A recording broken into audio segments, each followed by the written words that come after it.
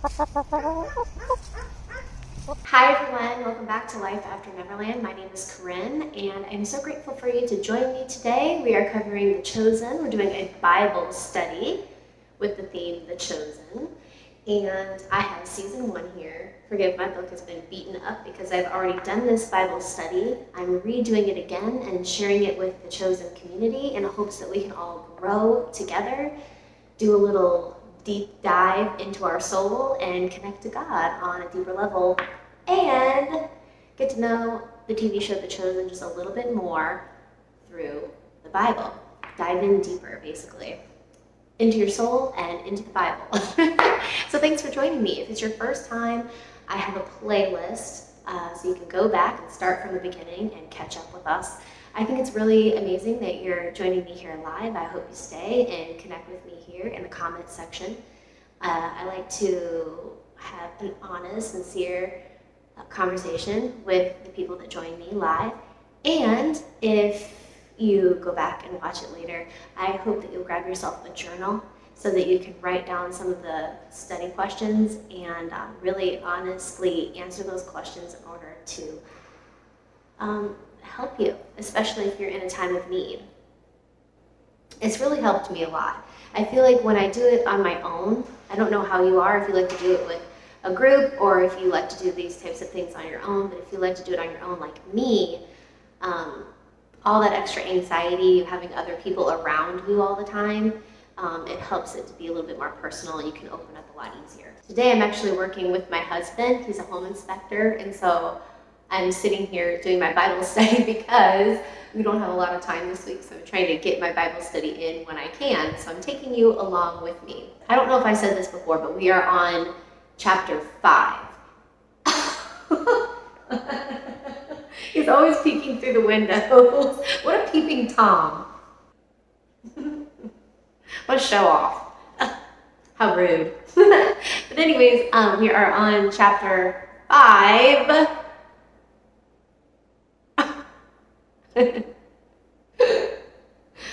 yeah.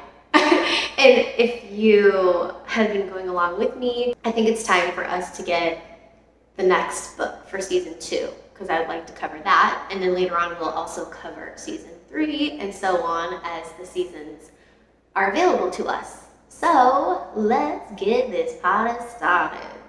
Okay, lesson five says, You are a witness. And it begins with Isaiah 43 8 through 10.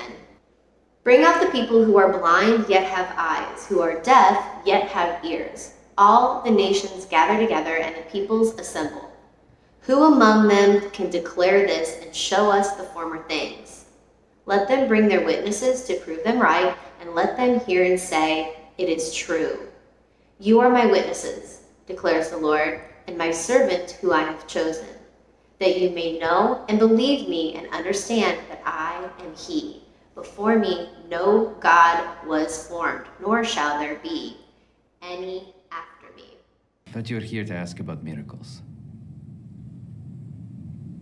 But first, I wanted to tell you of a miracle that I've seen, but cannot comprehend. And then to make accusations. This is pointless. Clearly, you are not a frothing madman, but every bit as unreasonable. You imprison me and accuse me of being ill tempered. I am not your captor. Do you not understand? This is a Roman cell. I came here to speak to the warden on your behalf. On my behalf? Why are you really here, old man? The official reason? You are a Jewish citizen. If you have broken Jewish law, it sets a dangerous precedent to allow Rome to adjudicate. Uh, and the real reason?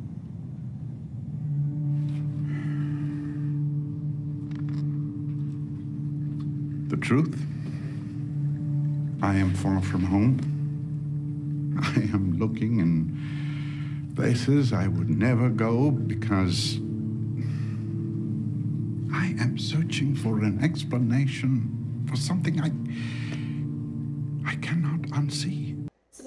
part of this episode literally is Nicodemus coming to John the Baptist in the first place to talk to him about the miracles he experienced when seeing what happened with Mary.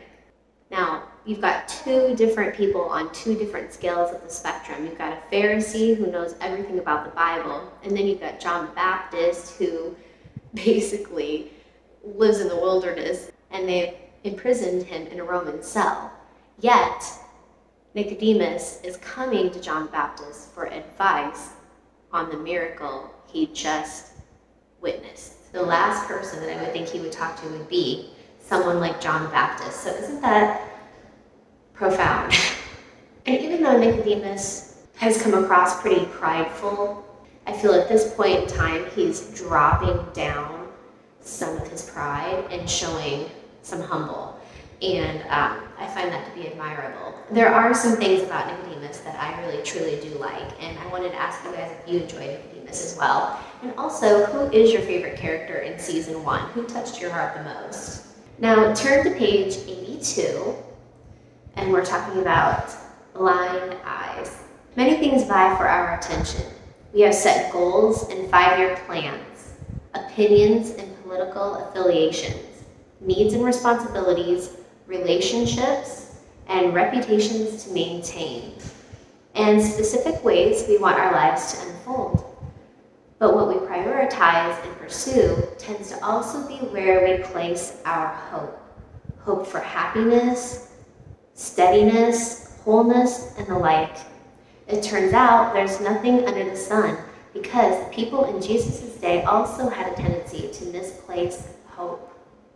In episode 5 of The Chosen called The Wedding Gift, the parents are hoping for a union that will benefit their children and a celebration that will secure their standing in the community.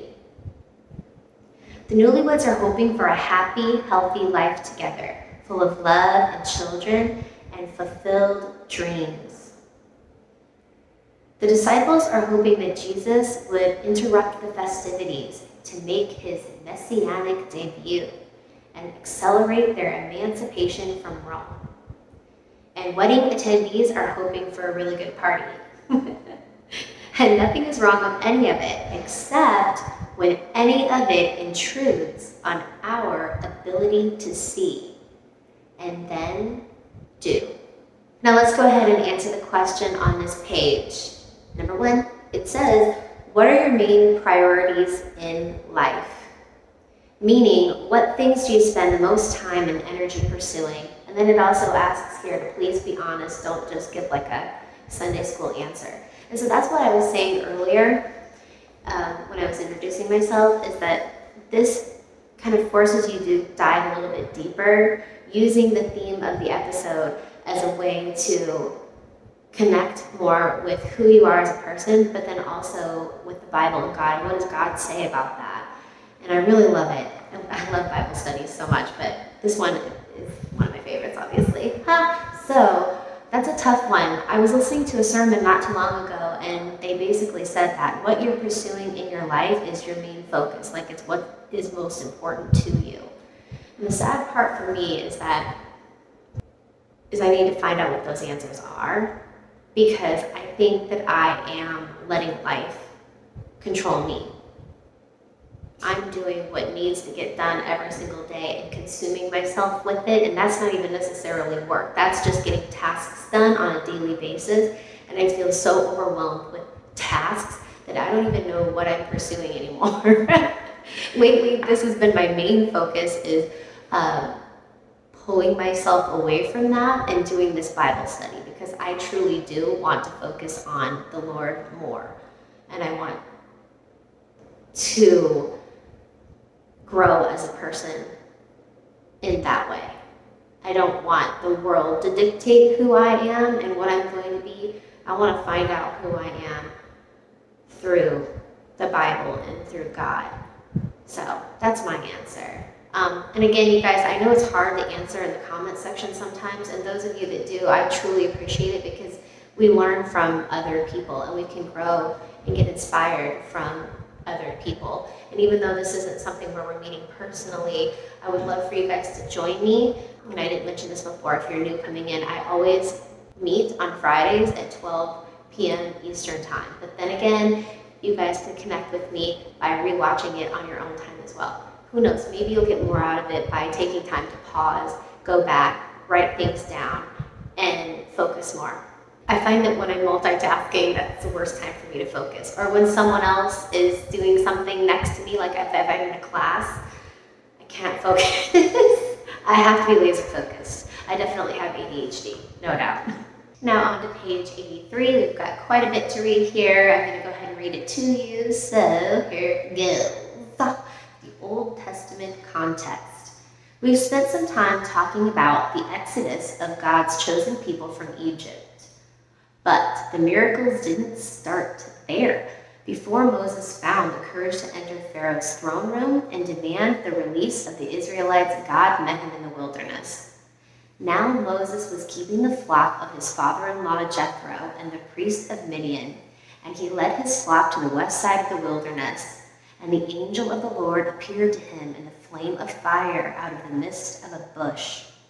He looked, and behold, a bush was burning, yet it was not consumed. And Moses said, I will turn aside to see this great sight, why the bush is not burned. When the Lord saw that he turned aside to see, God called to him out of the bush, Moses, Moses. And he said, Here I am. Then he said, Do not come near. Take your sandals off your feet, for the place on which you are standing is holy ground. And he said, I am the God of your father, the God of Abraham, the God of Isaac, and the God of Jacob. And Moses hid his face, for he was afraid to look at God. Then the Lord said, I have surely seen the affliction of my people who are in Egypt and have heard their cry because of their taskmakers. I know their sufferings and I've come down to deliver them out of the hand of the Egyptians. Well, hallelujah. Come, I will send you to Pharaoh that you may bring my people, the children of Israel, out of Egypt. But Moses said to God, who am I that I should go to Pharaoh and bring the children of Israel out of Egypt? And God said, But I will be with you. Then Moses said to God, If I come to the people of Israel and say to them, The God of your fathers has sent me to you, and then they ask me, What is his name? What shall I say to them? And God said to Moses, I am who I am. And that's in Exodus 3 1 through 14. And on to page 84, it says, That was a tall order. The pharaohs of Egypt were not only kings, they were considered gods on earth. To stand in front of one and demand anything would have been a death sentence. But Moses had been in the presence of the one true God. He was an eyewitness and couldn't deny what he'd seen or neglect to do what he had been told. Moses was called to serve the King of Kings and to appeal to Pharaoh on his behalf. I am who I am was the name God gave himself because it's limitless and because no single word could ever capture the fullness of his character. God is all powerful, all knowing, all seeing, which meant the guy who put Israel in chains was about to face off with the one who'd squash him like a bug, and ultimately did. Fast forward about nine centuries when Isaiah was appealing to the nation of Israel on God's behalf. You are my witnesses, declares the Lord, and my servant whom I have chosen, that you may know and believe me and understand that I am He before me no God was formed, nor shall there be any after me. Again, Isaiah 4 3 10. Time and again, Israel had seen God's power on display in Egypt through the Red Sea and into the Promised Land.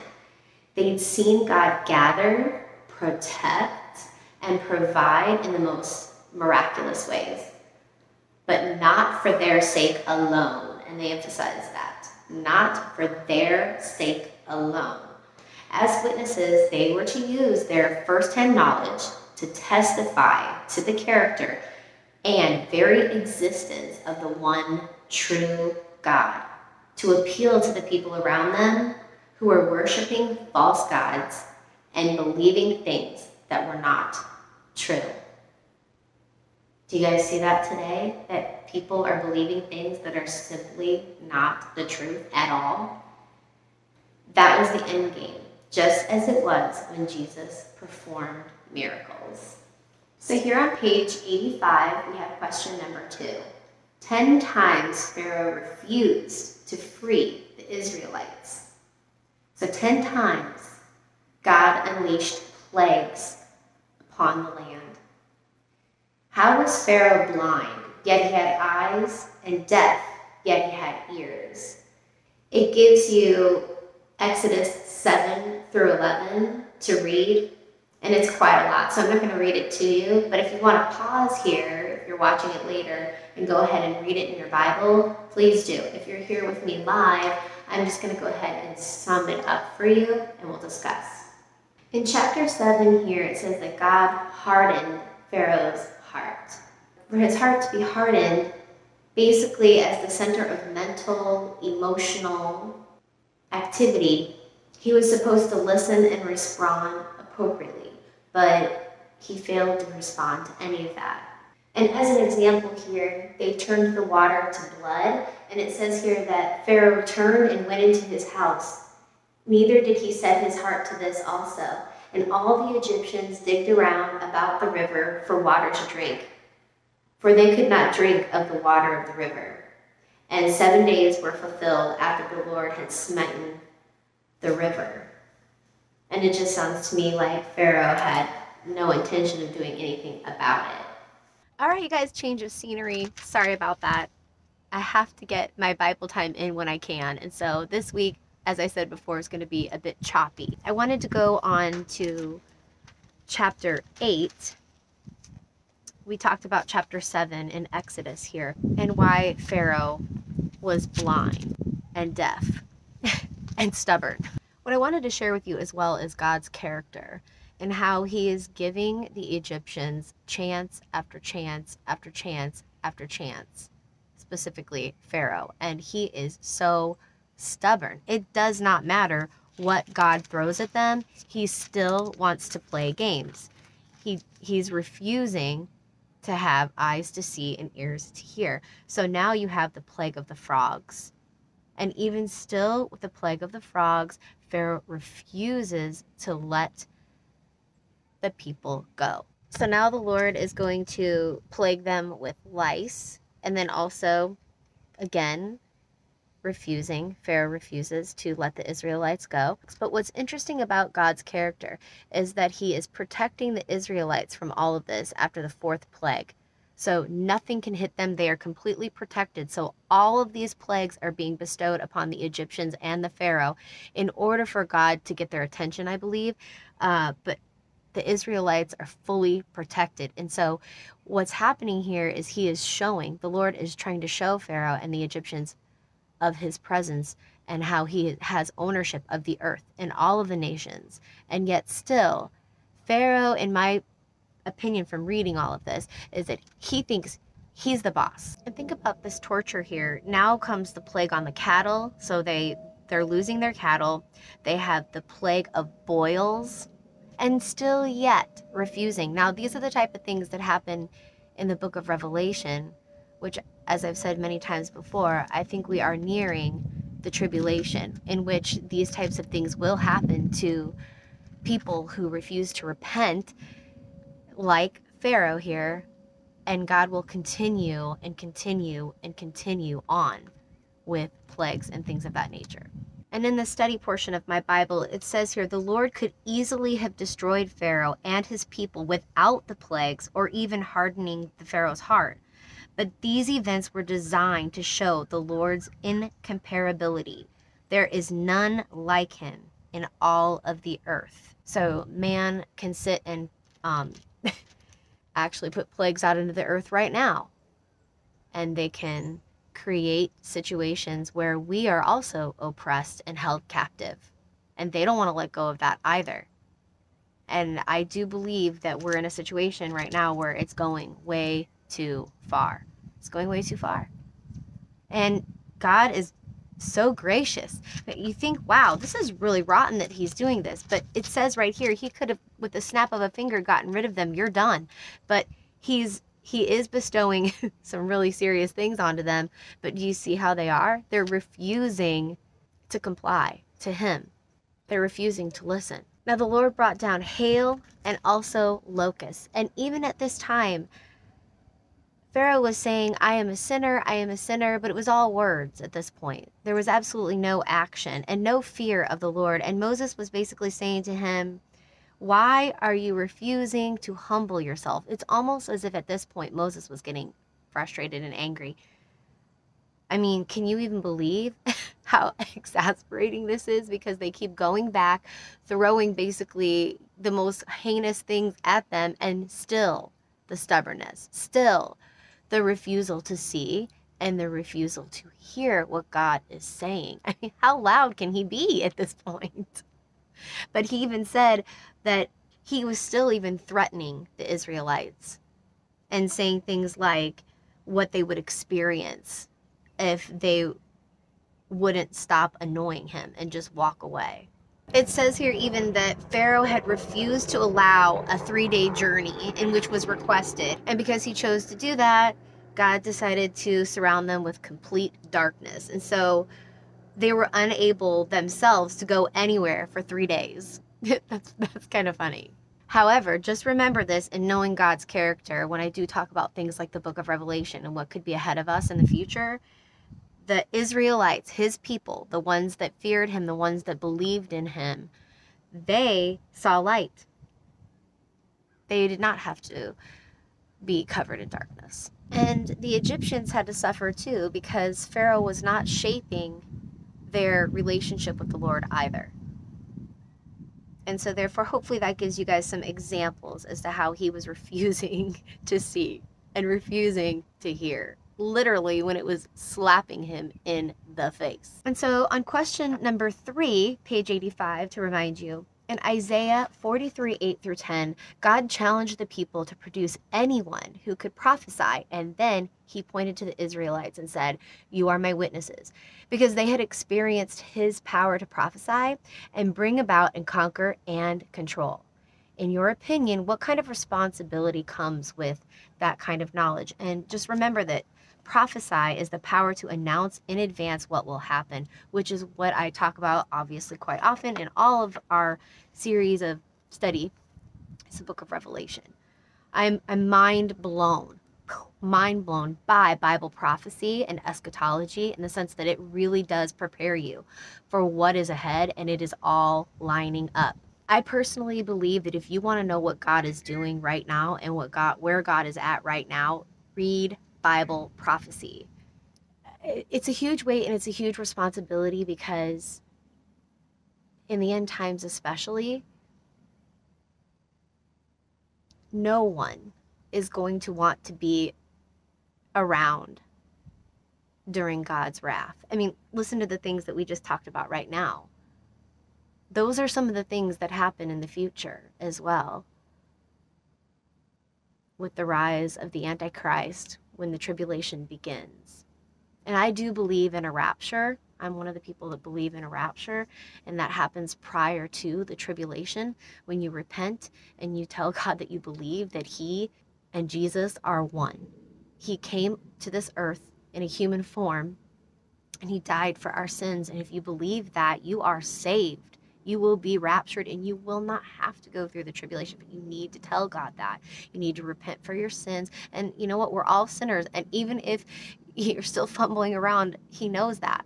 He knows that that's our nature as humans. That's why He died on the cross for us. And so it's important for us to let each other know that and that He is our blessed hope. That's another reason why I believe in the rapture because going into the tribulation and having to live through all that for me is not hopeful at all. And the Lord also says to be encouraged and to encourage one another during this time and to look up because your redemption draweth nigh. Why would he say that? Why would he say that if he's just going to put us through the wrath anyways? But I think with relation to Moses, no matter how many times Moses and Aaron went and talked to Pharaoh and the Egyptians, they were refusing. They were hardening their own hearts, and God was hardening their hearts, hardening their hearts as well. And I can't help but think, why was He doing that? Because He wants their heart to be with Him. So He's testing them. These are tests. But it is it is a lot of responsibility because just like Moses, they would not listen. They would not listen. They kept wanting to do things their own way, and they refused to humble themselves and, and it's hard to take on that burden for other people. Um, they might turn and walk away from the Lord. They might turn and walk away from you because they want nothing to do with it. And they most likely could be like in the days of Noah and think you're an absolute cuckoo for Cocoa Puffs, weirdy McWeirdo. It's a tough place to be in sometimes. okay, so question number four. In ancient times, people worshipped gods made out of wood and stone, the work of human hands as well as people like Pharaoh who made divine claims, though they couldn't back them up. While times and culture have changed, what and who do we worship now instead of the one true God? There's so many things. We, we worship celebrities, Hollywood. We worship technology. Can you guys think of anything else? that we worship. And that doesn't mean like we're bowing down to it, although celebrities, yes. Um, but with technology, we use technology for everything. We rely on technology for everything. And if you really do look at AI and where it's going these days, it's absolutely terrifying. And when you dig and you look even deeper, you will realize that they're already talking about putting chips into people.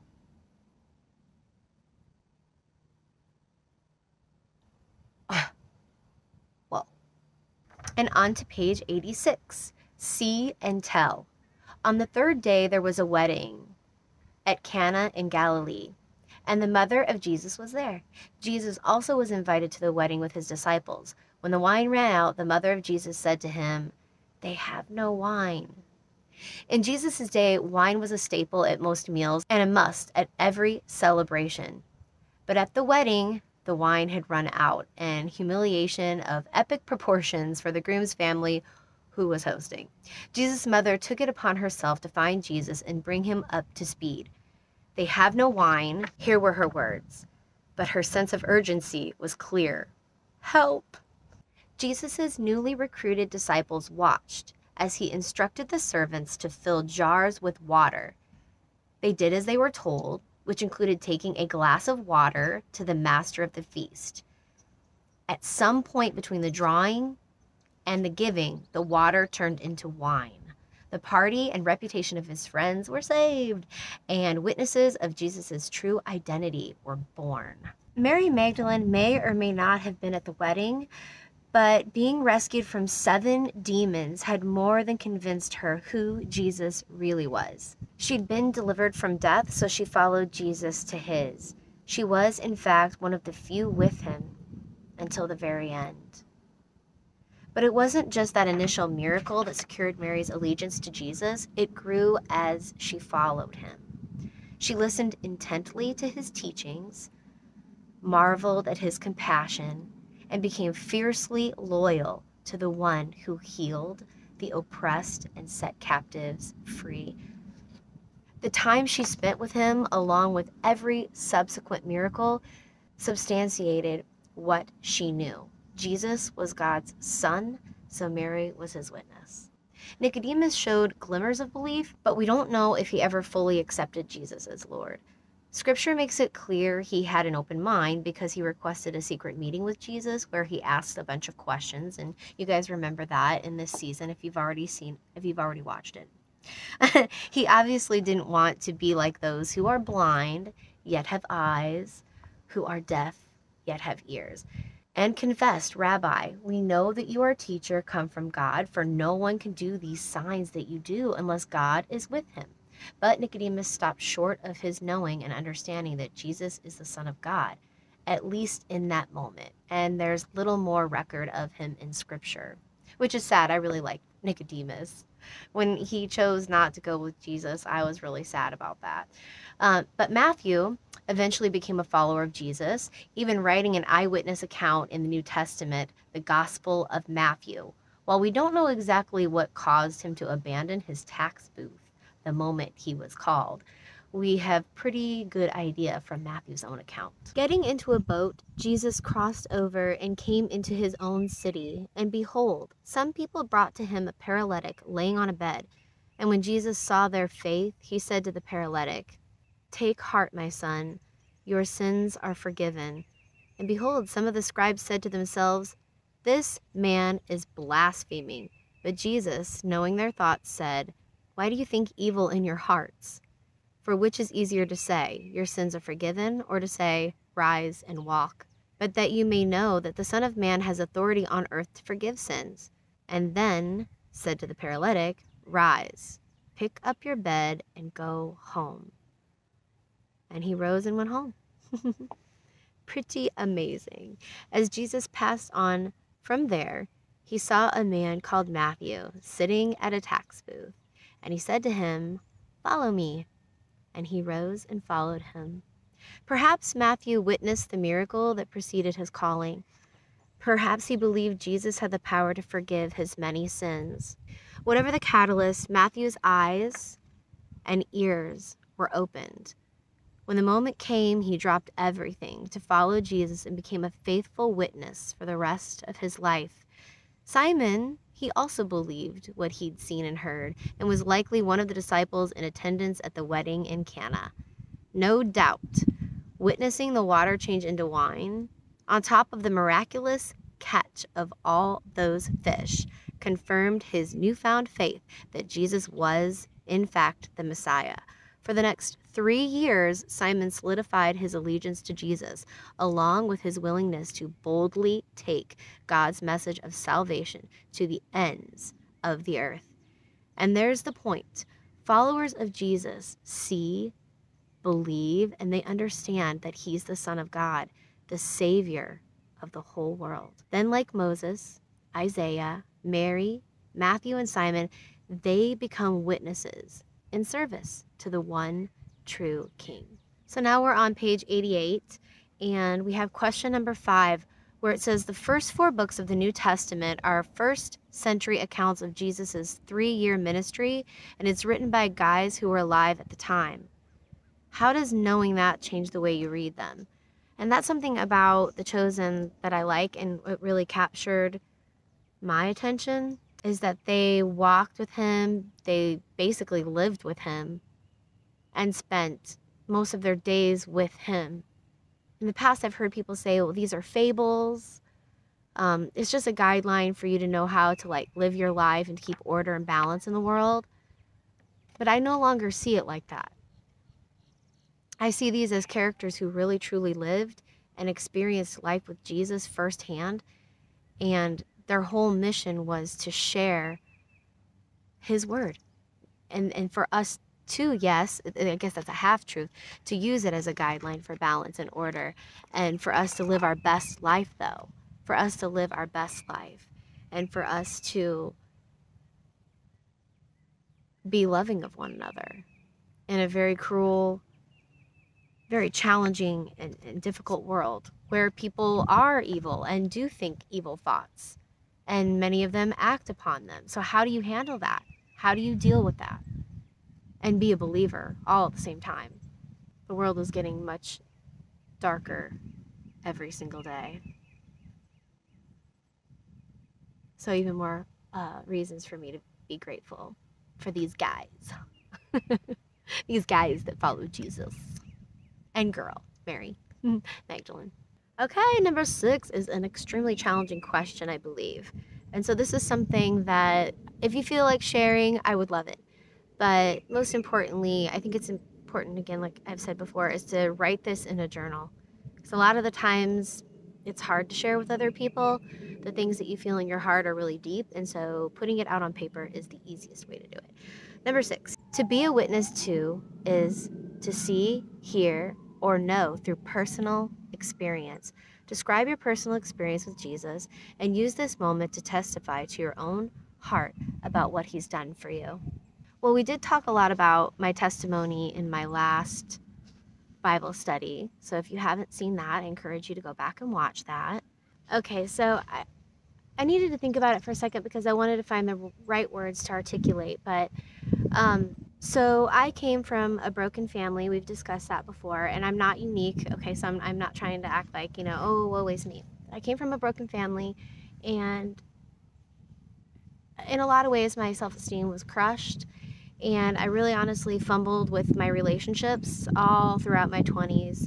And by the grace of God, I really feel like He found my most perfect soulmate for me to spend the rest of my life with. And let me tell you, there have been people, including people in my own family, who have tried to um, plant seeds for this relationship to not work.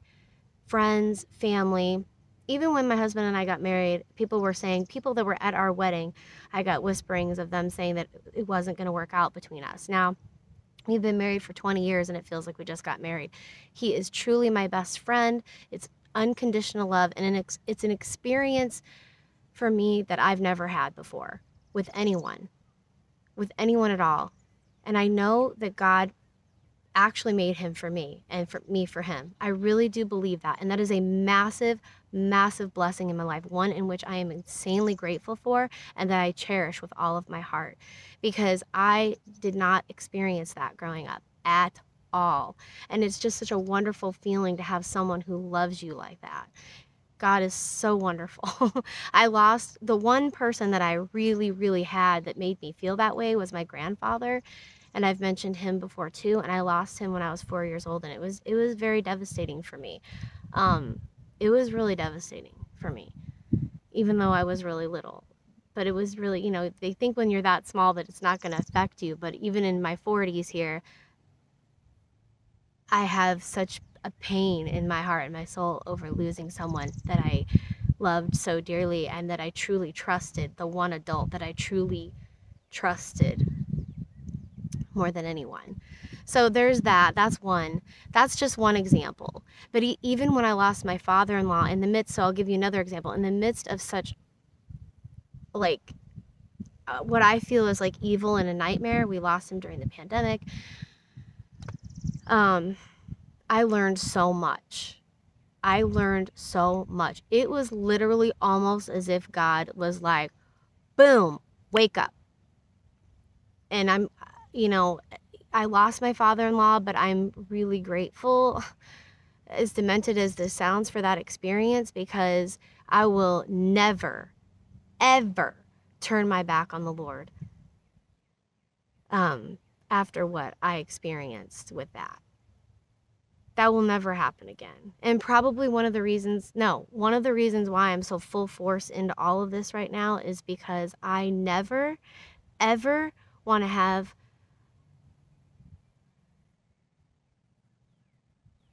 God not be in my life. I never want that ever again because I saw evil and I um, have no control over it. It it's a very helpless feeling. I don't know what to do and so I'm so grateful for him. I'm so grateful for him. I cannot say that enough. And I know I'm not the only one who was affected by the pandemic, and I just can't help but wonder how many of you went through some things and did you see God or did you let the evil take over in your life? And if, if that is the case, I encourage you to stay with me. Stay with me, please. And we can get through this together. That would mean so much to me because I, I want to be there for those of you who are feeling hopeless helpless, worthless, lost, confused, and maybe you're in a dark place. And so I want to be there with you through all of that because I've been through all of that. but I will tell you, God has been there for me every single time. It didn't mean that I wasn't going to experience these difficult trials it shaped my character. It helped me become a better person. And it's continually doing that. It's not like, oh, I'm fixed. I'm perfect. No, not even close. Not even close. But I know that he's working in me and it's kind of exciting. And I, I'm interested in seeing what else he has in store. And I and I want the same for you as well. So, with that being said, let's move on to page 89 for number seven. The conversation between John the Baptist and Nicodemus in this episode dramatizes Nicodemus's curiosity. He's been seeing things that don't make sense and sincerely investigating. So, read Proverbs 34, the verse John quotes in response to Nicodemus, and answer the questions the curious Pharisee couldn't. Who has ascended to heaven and come down? So let's go ahead and read that. Here we are. It's the pureness of God's word. Who hath ascended upon into heaven or descended? Who hath gathered the wind in his fists? Who hath bound the waters in a garment? Who hath established all the ends of the earth? What is his name? And what is his son's name? If thou canst tell. And so obviously, God. but one of the things it says here in my study, when you talk about Nicodemus, which is really fascinating because he's, like I said before, he's a Pharisee. He knows he knows the Bible inside and out. But it says asking about God's name is asking whether the hearer knows his character. Fascinating. Tells you a lot about Nicodemus, eh? I mean, Nicodemus is like seeking information from John the Baptist. But they're putting John the Baptist in a Roman prison. So backwards. this is so backwards. It's backwards. You know, I finally went to go see the Jesus Revolution movie and it touched my heart so much. Ah, you guys, I really encourage you to go see it. And I couldn't even believe it because there's this pastor that I follow named Greg Laurie. So if you've already seen the movie, you will realize that it's literally about Pastor Greg Laurie. I didn't even know that. I had no idea. And my husband and I, when we were watching it, he looked over at me and he said, Did who related who did you feel like you related to the most in that movie? And we both agreed that I just very I very much like Greg.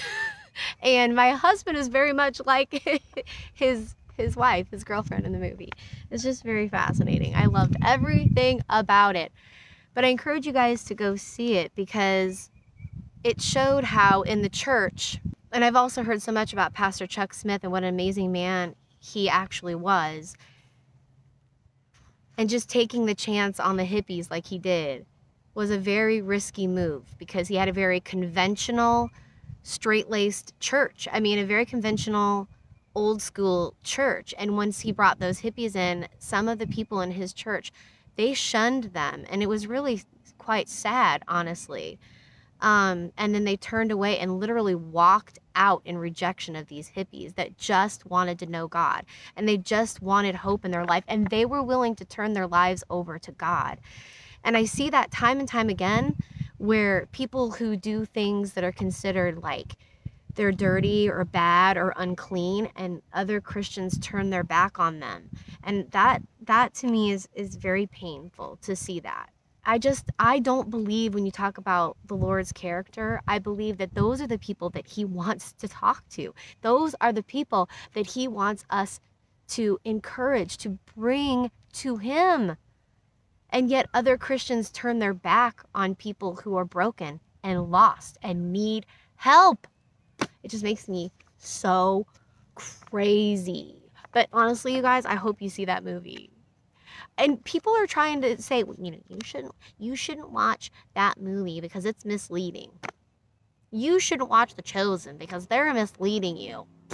I'm a perfect example of a person probably like the hippies and like the people that didn't know the Bible that followed The Chosen. And then they just assume that because we watch The Chosen, we believe everything hook, line, and sinker. No, I'm reading from my Bible right now.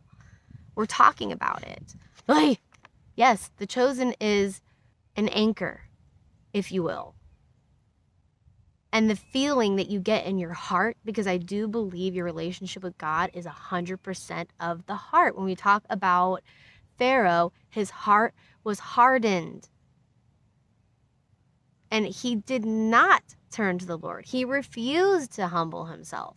Those hippies were humbling themselves and they were giving their testimony. What what is wrong with that? ah! Okay, let's move on.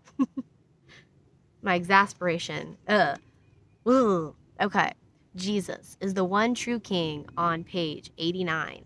Some people say Jesus never claimed to be God, that he was a good man and a powerful teacher, a humanitarian, and an example we should follow, but his followers added the divine part. Incorrect. Not only were there witnesses to his miracles, accounts corroborated and recorded by multiple people, he also identified himself the same way God did to Moses.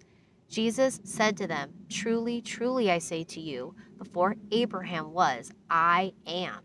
So they picked up stones to throw at him.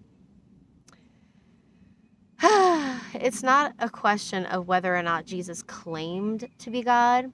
Old Testament context makes it clear that he did, which is why the religious leaders wanted to kill him. Rather, the question is do you believe him? And if you do, what kind of responsibility comes with that kind of knowledge? Here's a hint and one last look at our key verse You are my witnesses, declares the Lord, and my servant who I have chosen, that you may know and believe me and understand that I am He. As God's chosen people, we are to serve the one true King and worship Him alone and then we are to testify on his behalf, to share our knowledge and experience of God with others, to declare that nothing we do can save us from the consequences of sin. I have so many things to say about it, so while it's in my head, I'm just going to go ahead and say it. Okay, so I was saying to my husband, should I be doing this Bible study because I don't want to mislead anybody. I don't want to like turn anybody down the wrong path because I have seen other Christians do that even with me. They've discouraged me and make, made me feel well, not so good things. And I don't want to do that. And then Sean said to me, he said, well, that's what God wants us to do. God wants us to share our experiences with each other, to read the Bible, to talk and commune and share with each other to help each other grow. And it's so funny because even with my last Bible study that I did, whenever I'm feeling an insecurity in some sort of way, God will encourage me, or at least I feel it in my spirit, in my heart, that that's what I need to do. And when I do, my questions are revealed through the study that I'm doing, which I was just thinking about that yesterday and then here's my answer to for confirmation. Like that is an amazing feeling and i'm getting emotional about it which and that's my holy spirit in my heart. I feel like that's telling me the truth which i love. Ah just love it.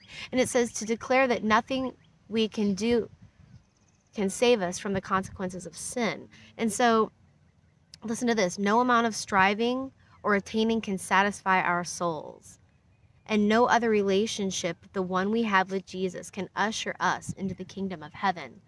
And so, these people that turn away from those of us who are in need, broken, dirty, rejected, I mean, for goodness sakes, they're sinners too. And they're turning their back on you, saying you're not good enough to worship. That's not okay. That's not okay should never have come here. All your life you've been asleep. Make straight the way for the king. He is here to awaken the earth. But some will not want to waken. They're in love with the dark. I wonder which one you'll be. And in all honesty, you guys, this is my favorite conversation Okay, my top three favorite conversations in season one.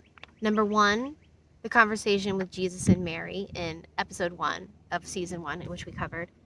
This one, the conversation with Nicodemus and John the Baptist. And the third one is the one that we've discussed several times, but which we will see Nicodemus and Jesus have their conversations. My three favorite even though I have four fingers up, my three favorite conversations, hands down, in season one. And what I love about this is that John the Baptist literally has to say, because he's a believer, he believes with all of his heart. He has to say to Nicodemus, All your life you've literally been asleep. And then when he says, Make straight the way of the king, he is here to awaken the earth, but some will not want to waken. They're in love with the dark. And that is the story behind Pharaoh and a lot of the people in the world that we live in right now. So it says, I wonder which one you will be. Well, let me just tell you right now, uh uh-uh. uh. No, I don't like the dark. It's making me exasperated. And another thing I wanted to tell you guys, it's so crazy. So I was listening to one of my pastors on YouTube while I was doing my dishes. And you know how different ads come on and things like that and David Jeremiah. I don't know if you know him. Again, I always like different pastors I like to listen to. And he is one of my favorites. And he came on, and I didn't even realize it was an ad. And go, go figure. He was talking about worrying, which is basically what we were talking about in my last Bible study. How I worry about the future and I drag my past with me. And he, the whole sermon was about worrying. You see how that is working in my life, and I hope it works for you that way too. And I know it does. It has to it has to.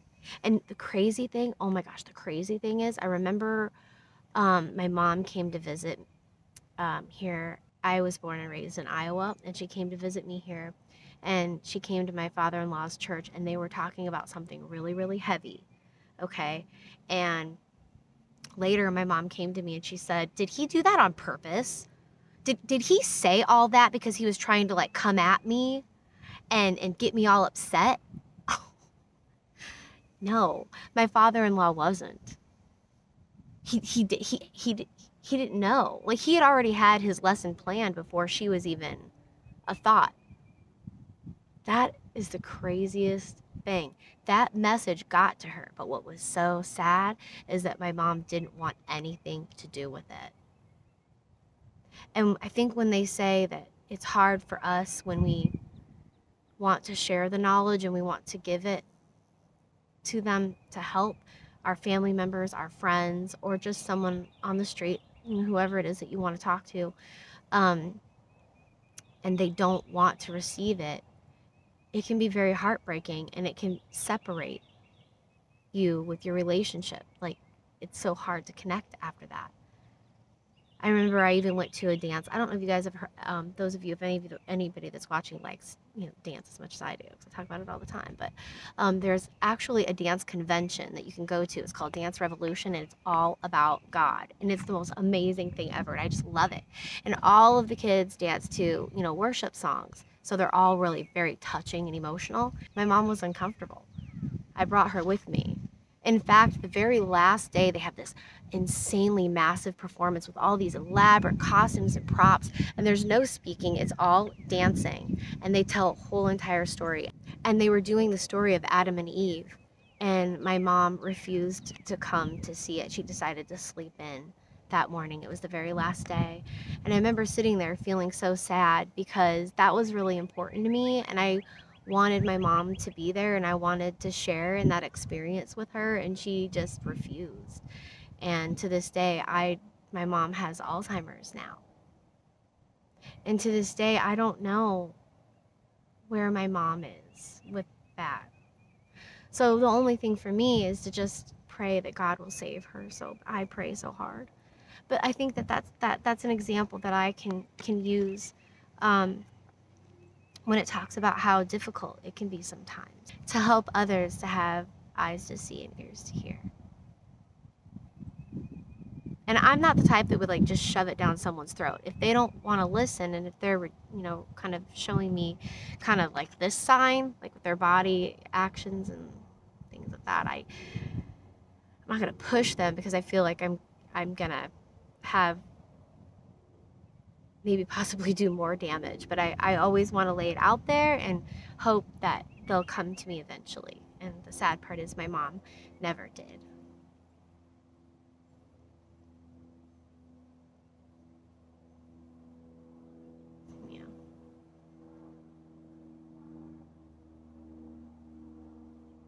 And when you see Jesus Revolution, you'll see Greg.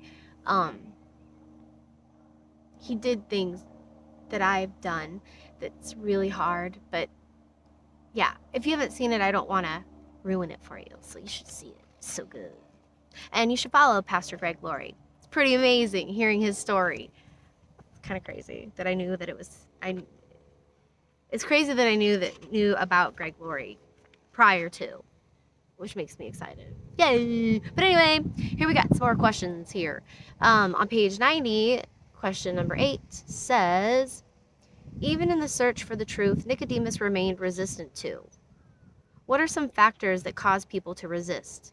In what areas of your life and to what degree are you resisting? So I guess we kind of talked about that, like with my mom I can't speak for her. I can't speak for her. I don't know why. Maybe we don't want to be honest with ourselves if we've made mistakes because that is really hard to be humble, to, to, to swallow your pride. So, pride, um, being humble, taking down your walls and admitting that you made a mistake. Because it is okay to make a mistake. And the only way to get out of that is to ask for forgiveness, talk to the other person and and that's where the healing begins and wouldn't you rather have healing i mean uh, for the minor pain that it might cause to admit that you made a huge colossal mistake because in all honesty like because that never happened between my mother and i our relationship was never ever deep it was never there wasn't a connection. The connection was broken. I don't want that with my relationships at all.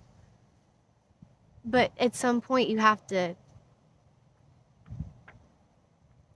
accept people for who they are and just love them anyways. You know, maybe from a distance. And in what areas am I resisting? I would say with time, time management which has always been my issue. I definitely want to like dive in deeper in regards to myself, but I I do think that time is my biggest downfall and or excuse. How about you guys? Which then takes me back to the first question that we had here in the study was about, you know, what do we take our time and energy to pursue in our day? And um, I would like to work on putting God at the forefront of where I put my energy and what I'm pursuing because I really do believe when I start doing that and as I continue to start doing that because I'm doing it very slowly, I need to do better, being honest here. Um, I think that my life will be better. I think we're so used to just like sludging around in the mud that it just becomes part of everyday life. But the more and more that I start reading into this and realizing um, how God truly is and who his character is, how he actually is. I don't want to let other people tell me because sometimes, I mean, I will listen to them, but I have to kind of sift through some of the things that other people say because sometimes you you'll come upon those people who will shun you because they think that you're not good enough to be a part of their club of worshiping and that can make you feel very discouraged. I don't want to feel that way. I want to feel hopeful. All the fruits of the Spirit, yeah, and no longer having this worry problem um, because God's got me, just like He had the Israelites all the time while He was casting all of these plagues on the Pharaoh and the Egyptians who were not being humble and who were resisting. You know what I mean? All right, you guys, we have just a couple more questions here. Number nine on page 90. Read John 10 30 through 33, and then 37 through 39.